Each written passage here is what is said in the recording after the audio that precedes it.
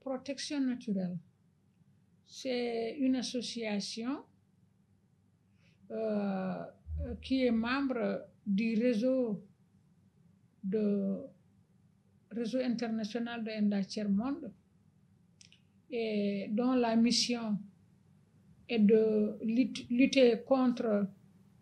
euh, la pauvreté, lutter contre les inégalités au niveau social. Et ENDA Pronat maintenant est donc un démembrement de ENDA, euh, mais qui a pour vocation de chercher avec les communautés et les décideurs politiques à combattre un certain nombre de pratiques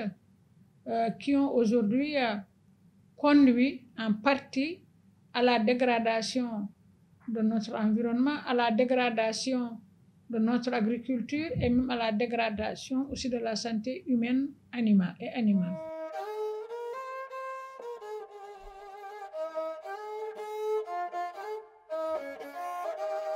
ENDA euh, part de la sensibilisation sur les pratiques et les produits néfastes à nos systèmes de production et à notre modèle de vie, mais en même temps aussi euh, expérimente avec ces communautés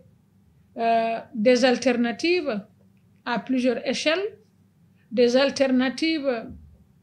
techniques, des alternatives organisationnelles, des, alternatives politiques.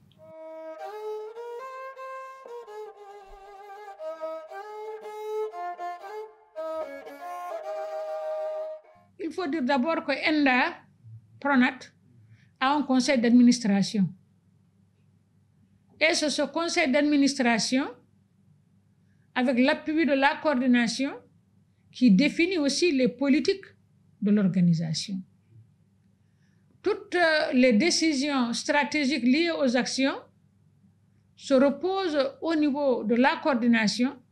mais qui se prennent aussi de façon horizontale avec les responsables de différents programmes au sein de ENDAPRONAT.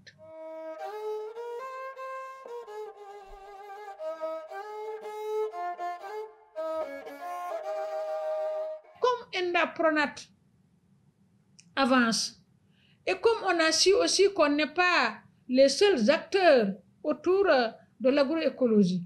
donc nous avons pensé aussi que notre rôle est de voir comment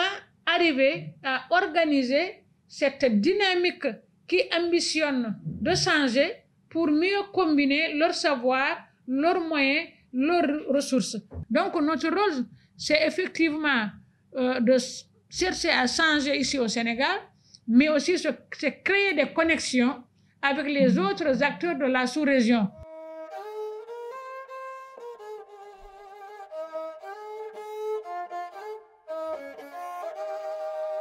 Le plaidoyer que nous portons, la communication que nous voulons vraiment développer, une communication qui part de la base au sommet, c'est certain qu'Enda Pronat, effectivement, a besoin aussi du renfort.